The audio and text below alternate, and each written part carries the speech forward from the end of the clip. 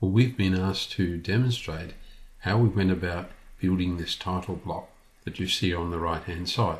It's got, it's a simple title block. It's just got the client name, address, and some scale and drawn and checked information, and then a series of photographs or images illustrating some design concepts that are going to be used in the design. But this is a block. A block is a separate drawing in GCAD Plus, and you just insert this into other drawings, preferably in layout space, when you want to put a block such as this, a title block such as this, to illustrate a particular design, and you want to use it over and over again. So how do we create that block? Well, we'll start the line command, and I've made my drawing colour red and given it a, quite a thickness so you can see what's going on. But it's, it's good practice to start when you make a block that's going to be used like this to start at a known coordinate. You don't have to. 0, comma 0. That anchors the what will be the block down at the left hand corner. So it means when we bring this block into other drawings, it'll be anchored at that point we've just nominated. Now I've, I've got a measurement there. Let me just zoom in and pan up a little. We can see that the width of this title block is in fact 150. So I can use the AutoCAD uh, notation here and use the at sign at 150. And we're going to go across to the right, which is an angle zero. So that puts our first line in. And let me look, it's 540 high. So I shall pan down and the next, next point is at 540 and the angle of course is 90. We work 0 to the right, 90 straight up, 180 and 270. So it's 90 and hit enter. In it goes. You could just put ortho on and point in the direction we're going on. In my case, I've got polar on, so I'm just pointing in the direction that I want. And uh, I need to refresh my memory as to that distance that we first typed, which was 150. So let's come back here. I've got polar on, so I can go um, at 150, the distance angle of 180. And as I said, you could just click and it would go in correctly. Now that I've got the first line in in red down there, I could say my next point could simply be I could snap to the end of an existing line. So there we have the outline of the title block. Now you'll notice that the dimension holding uh, an image there is 90 millimeters down, so I can say modify offset, pick that top line, right click, pick through point, right click distance again and just type 90 and OK and then enter to indicate the side. The next offset is 20, so I can right click, pick the through point again, pick the distance again, and type in 20 and OK and indicate the object to offset is that one there. So we're working our way, in this case in red, over the top. So given the series of dimensions, and you notice that all the dimensions are whole numbers, 75, 540, 18, 30, 20, and so on, and I can work my way down using the offset commands. The next thing I've done is to set a, uh, a text style. So I'll go Format, Text Style, and I've got one called KG Jupiter. It's a hand lettered font, and I'll cancel from there. It's set and it's current, so I can just type in whatever text I want in the title block. And this one happens to say text 1 to 100 at A1.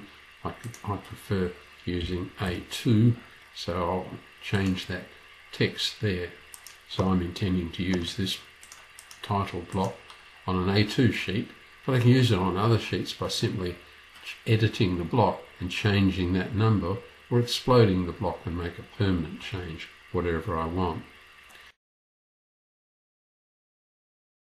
I've been asked to demonstrate that alternative way of entering distances. So let's use the L shortcut and we do need to start in this instance at 0, comma 0, so there's our start coordinate and just move in the direction that we want to go in and make sure that either polar or ortho is on and provided the line is horizontal we can type the um, 150 which is the distance in this case in millimeters that we want to go and again provided we're pointing in the correct distance we can just type 540 we now have a grid system for the photos and images are put in via draw and raster image. Up pops the image manager. Let's imagine we want to put in that bowl for an outdoor fireplace setting. You're going to use that in the design. We can simply click insert and I'll scroll in a little. We now have our square. We can use let me just float the snap toolbar across. We can pick end point and snap the bottom of our image there and then move it up. We want to cover that area like so so we can do that. So in goes that image. Let's put another image over on the right hand side. If we want to adjust the image we can. We can just move it across and crop it. That, that's going to distort the image somewhat but I think it's quite acceptable in this instance to do it in that way. Let's put another image in raster image and we've got uh, well, some crazy paving so we will insert that. And again we'll pick up this time an intersection there and drag that one up and it goes in position. You might find and let's see if we can manage it you might find uh, that one image is on top of the other or under the other and you don't like the effect I think we've got one example of it here on the right. See how that image there extends because it was landscape view extends across. So all we've done is taken this image and said tools and draw order, bring it to the front. And so it will overlay this particular image. So you've got a grid to play with. There's no reason why you couldn't put it uh, over four panels. You could put an image. So we could say draw raster image. Let's pick some other image. I want a wider image if I can. This one will do. And we can insert that one. Again we'll pick intersect. We'll come down and we'll put it over four panels like so. Pick the image bring it in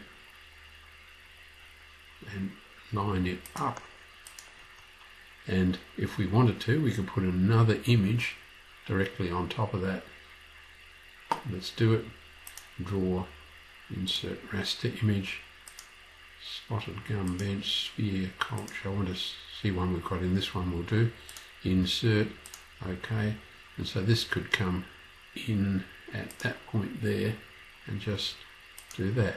So we've got we can still see our gabion wall but we've put our other image here I'd probably be inclined to drag that one down a little I want to make it, I want to be able to see that line that runs across so I can pick that line and say tools, draw order and bring it to the front and it's a, a dark line. If I change my background to a black colour you'll be able to see that white line very easily and I'll drag down and square things off. So you can see I'm laying out a series of images using my grid at the uh, at the back as a guide. I can bring this line also to the front. So in that way, provided we have a, a title block set up with our logo and all of this other text information, we, we, we would not bother bringing photographs in as we insert the block. We'll edit the block later